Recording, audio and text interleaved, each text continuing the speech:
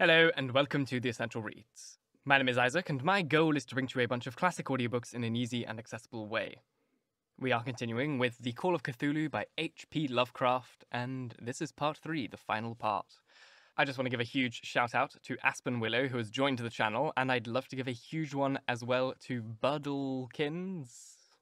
3408, sorry, I probably messed that up, uh, who donated 19 US dollars to me, which is insane. Um, but every little bit of that helps to allow me to do this and helps me purchase better equipment and things like that that can make your listening experience much, much better. So thank you so much to the two of you. Let's begin.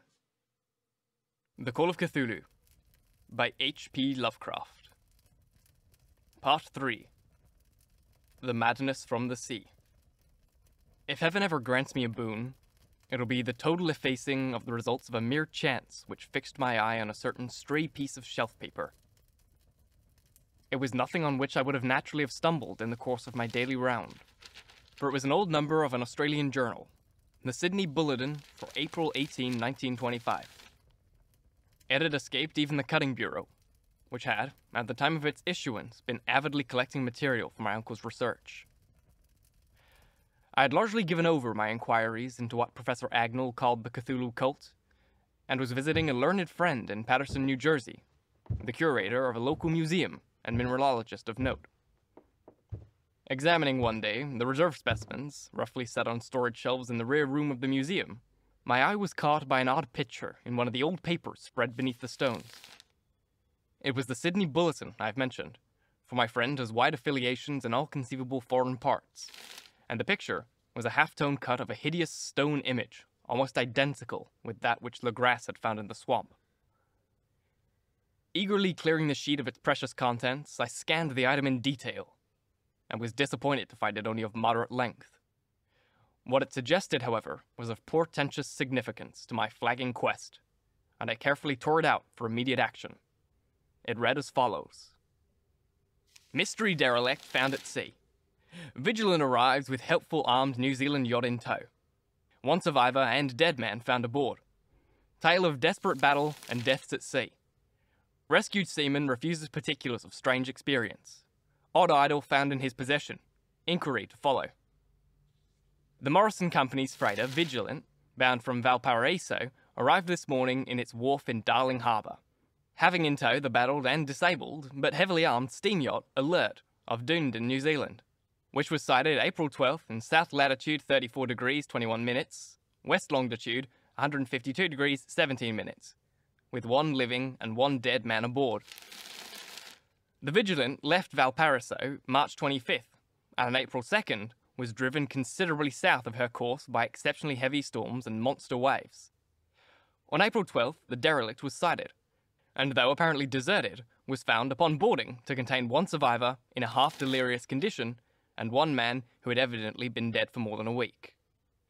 The living man was clutching a horrible stone idol of unknown origin, about a foot in height, regarding whose nature authorities at Sydney University, the Royal Society, and the museum in College Street all profess complete bafflement, and which the survivor says he found in the cabin of the yacht in a small shrine of common pattern. This man, after recovering his senses, told an exceedingly strange story of piracy and slaughter.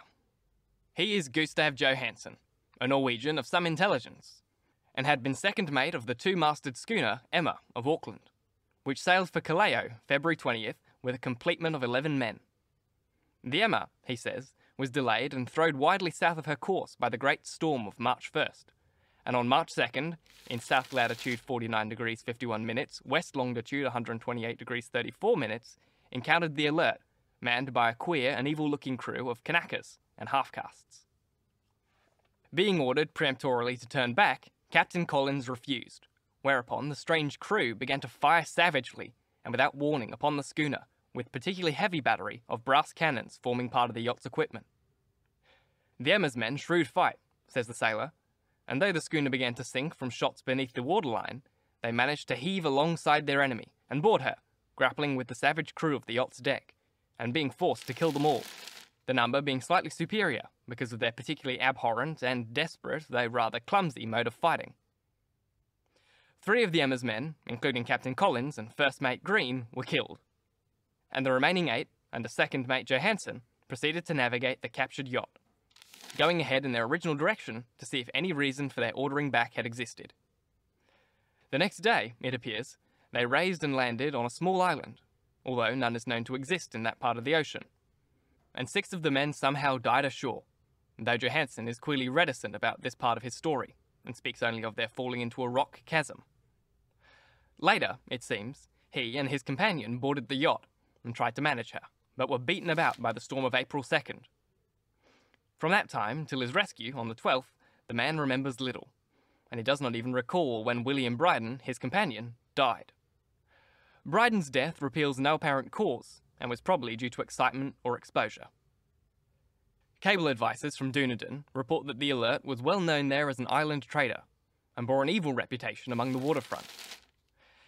It was owned by a curious group of half castes whose frequent meetings and night trips into the woods attracted no little curiosity, and had set sail in great haste just after the storm and earth tremors of March 1st.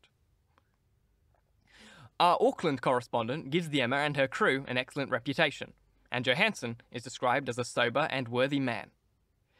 The Admiralty will institute an inquiry on the whole matter beginning tomorrow, at which every effort will be made to induce Johansen to speak more freely than he has done hitherto. This was all, together with the picture of the hellish image. But what a train of ideas it started in my mind. Here were new treasuries of data on the Cthulhu cult, and evidence that it had strange interests at sea as well as on land. What motive had prompted the hybrid crew to order back the Emma as they sailed about their hideous idol? What was the unknown island on which six of the Emma's crew had died, and about which the mate Johansen was so secretive? What had the Vice Admiralty's investigation brought out? And what was known of the noxious cults in Dunedin? And most marvelous of all, what deep and more natural linkage of dates was this which gave him a line and now undeniable significance to the various turns of events so carefully noted by my uncle. March 1st, or February 28th, according to the international dateline, the earthquake and storm had come. From Dunedin, the Alert and her noisome crew had darted eagerly forth as if imperiously summoned. And on the other side of the earth, poets and artists began to dream of the strange and dank Cyclopean cities, whilst the young sculptor had molded in his sleep the form of the dreaded Cthulhu. March 23rd, the crew of the Emma landed on an unknown island and left six men dead. And on that date, the dreams of sensitive men assumed a heightened vividness and darkened with dread of a giant monster's malign pursuit, whilst an architect had gone mad and a sculptor had lapsed suddenly into delirium. And what of this storm of April 2nd? The date on which all dreams of the dank city ceased, and Wilcox emerged unharmed from the bondage of strange fever. What of all this?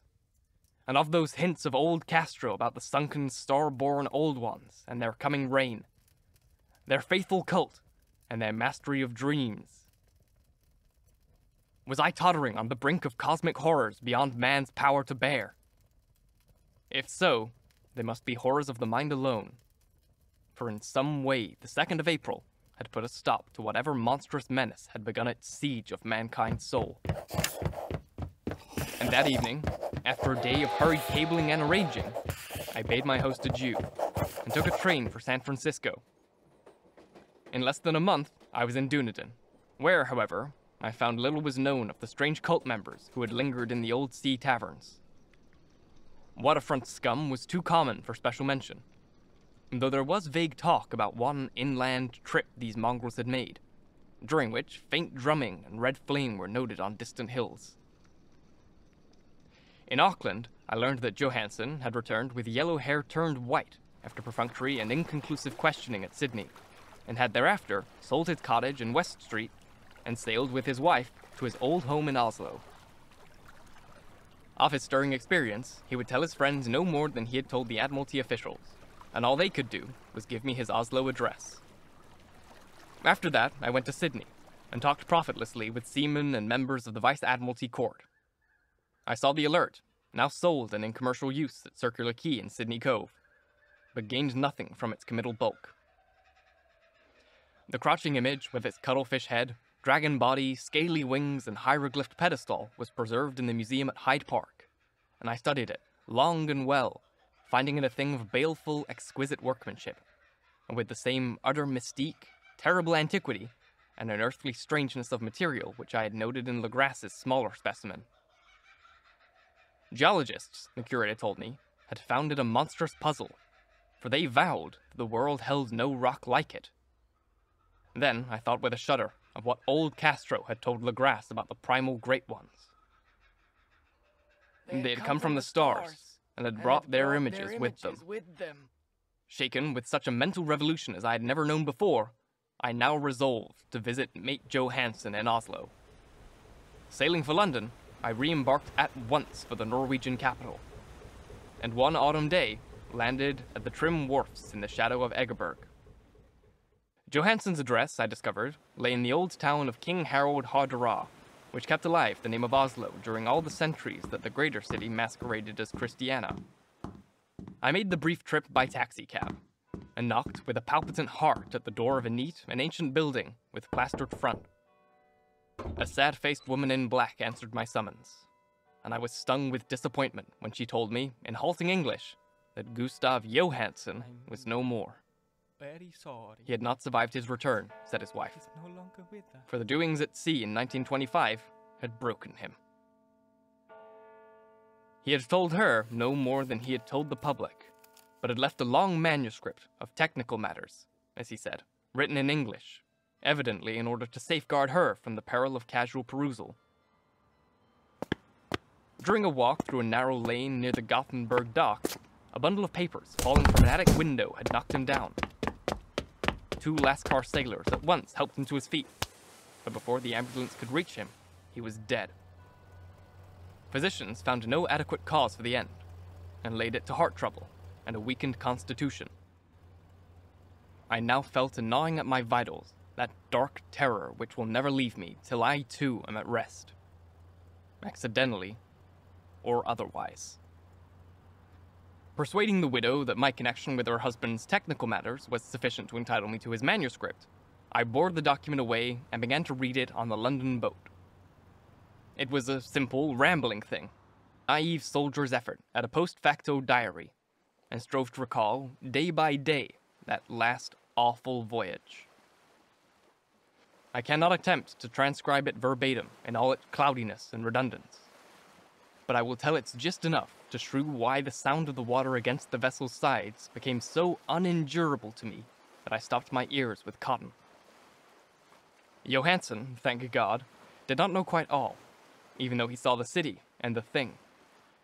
But I shall never sleep calmly again when I think of the horrors that lurk ceaselessly behind life in time and in space, and of those unhallowed blasphemies from elder stars which dream beneath the sea, known and favored by a nightmare cult ready and eager to loose them out on the world whenever another earthquake shall heave the monstrous stone city again into the sun and air. Johansen's voyage had begun just as he had told it to the Vice Admiralty. The Emma, all ballast, had cleared Auckland on February 20th, and had felt the full force of that earthquake born tempest which must have heaved up from the sea bottom the horrors which filled the men's dreams. Once more under control, the ship was making good progress when held up by the alert on March 22nd, and I could feel the mate's regret as he wrote of the bombardment and sinking. Of the swarthy cult fiends on the alert, he speaks with significant horror. There was some peculiarly abominable quality about them, which made their destruction seem almost a duty, and Johansen shrews ingenious wonder at the charge of ruthlessness brought against his party during the proceedings of the court inquiry. Then, driven ahead by curiosity in their captured yacht under Johansen's command, the men sight a great stone pillar sticking out of the sea, and in south latitude 47 degrees 9 minutes, west longitude 126 degrees 43 minutes, come upon a coastline of mingled mud, ooze, and weedy cyclopean masonry, which can be nothing less than the tangible substance of the Earth's supreme terror.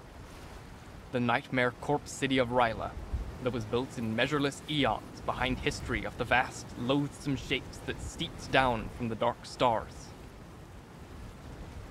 There lay great Cthulhu and his hordes. hidden in green slimy vaults and sending out at last, after cycles incalculable, the thoughts that spread fear to the dreams of the sensitive, and called imperiously to the faithful to come on a pilgrimage of liberation and restoration. All this Johansen did not suspect, but God knows he saw enough. I suppose only that a single mountaintop, the hideous monolith crowned citadel whereupon Cthulhu was buried, actually emerged from the waters. When I think of the extent of all that may be brooding down there, I almost wish to kill myself forthwith.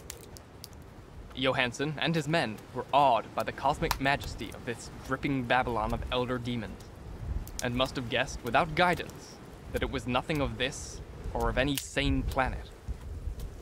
Awe at the unbelievable size of the greenish stone blocks, at the dizzying heights of the great cavern monolith, and at the stupefying identity of the colossal statues and bas relief with queer image found in the shrine on the alert is poignantly visible in every line of the mate's frightened description. Without knowing what futurism is like, Johansen achieved something very close to it when he spoke of the city. For instead of describing any definite structure or building, he dwells only on broad impressions of vast angles and stone surfaces. Surfaces too great to belong to anything right or proper for this earth, and impious with horrible images and hieroglyphics. I mention his talk about angles because it suggests something Wilcox had told me of his awful dreams. He had said that the geometry of the dream place he saw was abominable, non Euclidean, and loathsomely redolent of spheres and dimensions apart from ours. Now, an unlettered seaman felt the same thing whilst gazing at the terrible reality. Johansen and his men landed at a sloping mud bank on this monstrous acropolis and clambered slipperily over the titan blocks which could have been no mortal staircase. The very sun of heaven seemed distorted when viewed through the polarizing miasma welling out of this sea-soaken perversion, and twisted menace and suspense lurked leeringly in all those crazy elusive angles of cavern rock, where a second glance shrewd concavity after the first shrewd convexity. Something very like fright had come over all the explorers before anything more definite than rock and ooze and weed was seen. Each would have fled had he not feared the scorn of the others, and it was only half-heartedly that they searched, vainly, as it proved, for some portable souvenir to bear away. It was Rodriguez, the Portuguese, who climbed up the foot of the monolith and shouted of what he had found. The rest followed him and looked curiously at the immense carved door with the now familiar squid dragon bas relief. It was, Johansen said, like a great barn door. And they all felt it was a door because of the ornate lintel, threshold, and jambs around it, though they could not decide whether it lay flat like a trap door or slantwise like an outside cellar door. As Wilcox would have said, the geometry of the place was all wrong. One could not be sure that the sea and the ground were horizontal. Hence, the relative position of everything else seemed phantasmally variable. Briden pushed the stone in several places without result. Then Donovan felt over it, delicately around the edge, pressing each point separately as he went. He climbed interminably along the grotesque stone molding. That is, one would call it climbing, if the thing was not, after all, horizontal.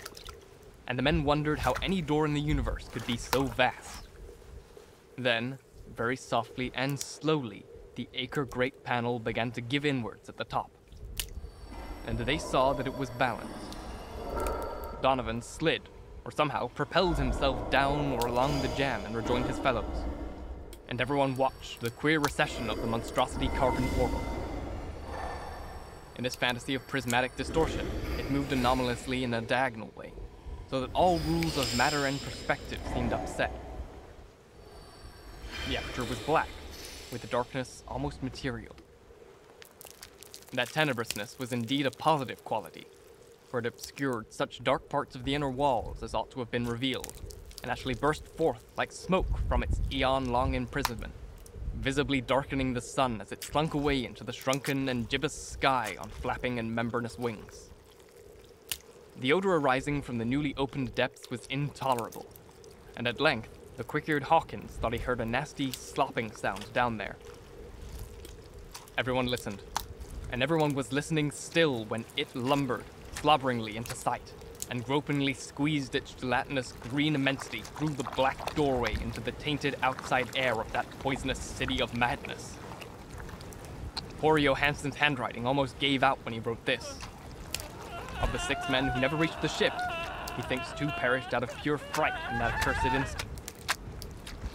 There is no language for such abysms of shrieking and immemorial lunacy, such eldritch contradictions of all matter, force, and cosmic order.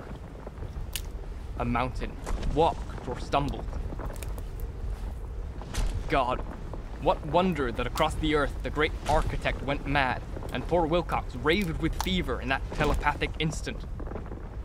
The thing of the idols, the green, sticky spawn of the stars had awakened to claim its own.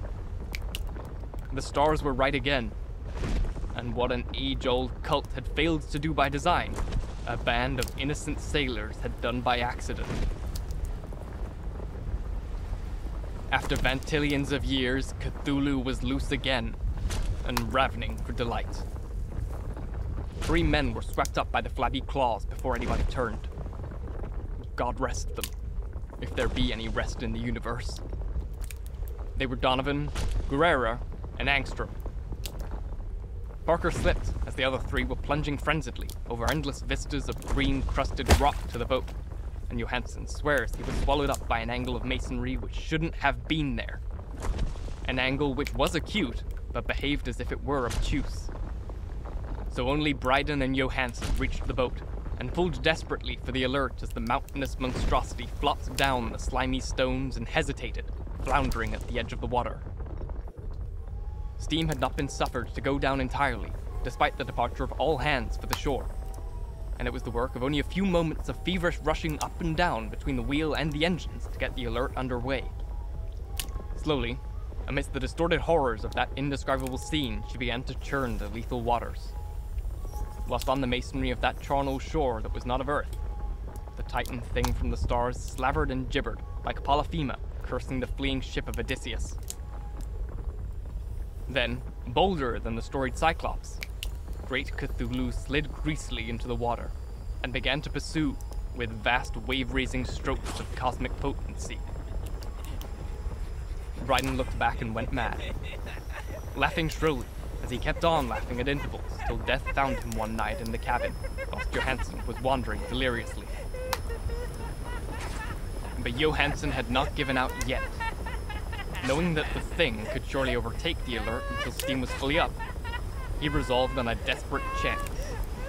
Then, setting the engine for full speed, ran lightning-like on deck and reversed the wheel.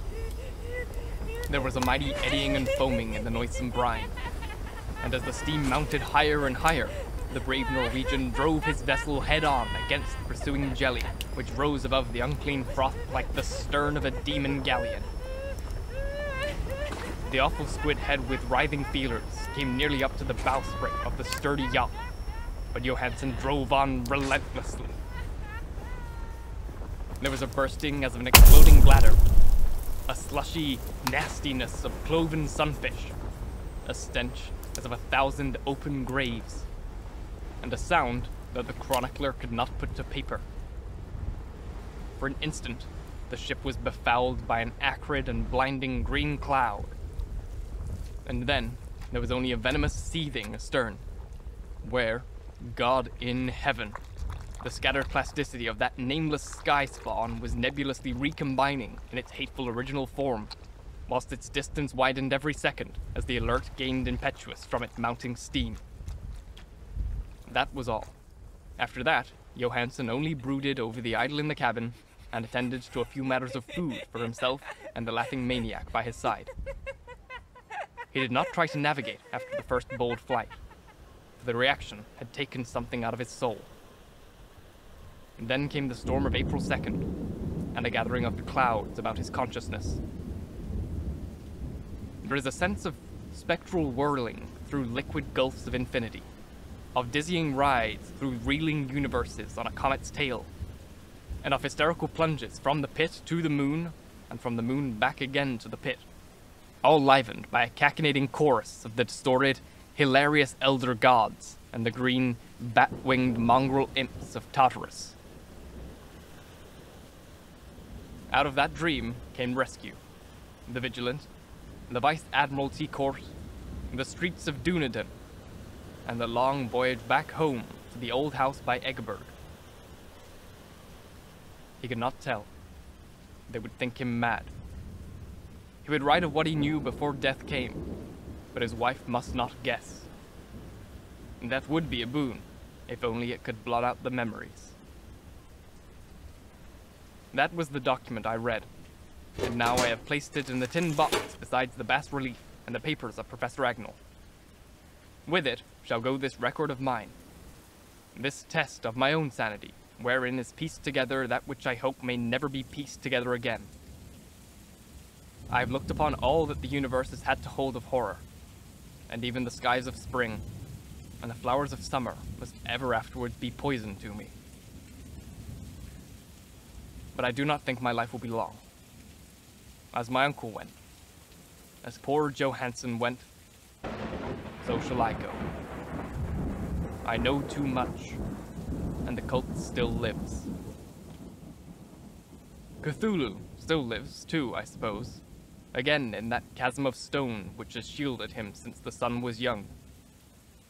His accursed city is sunken once more, for the Vigilant sailed over the spot after the April storm. But his ministers on earth still bellow and prance and slay around the idol capped monoliths in lonely places.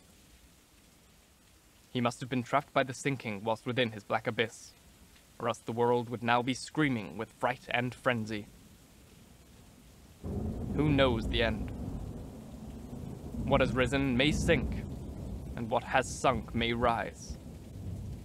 Loathsomeness waits and dreams in the deep, and decay spreads over the tottering cities of men. A time will come, but I must not and cannot think. Let me pray that if I do not survive this manuscript, my executors may put caution before audacity and see that it meets no other eye. The end.